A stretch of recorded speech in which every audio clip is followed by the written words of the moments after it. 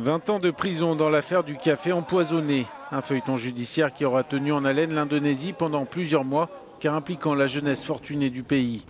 Jessica, une étudiante de 28 ans, a été jugée coupable du meurtre de son ami Wayan, 27 ans.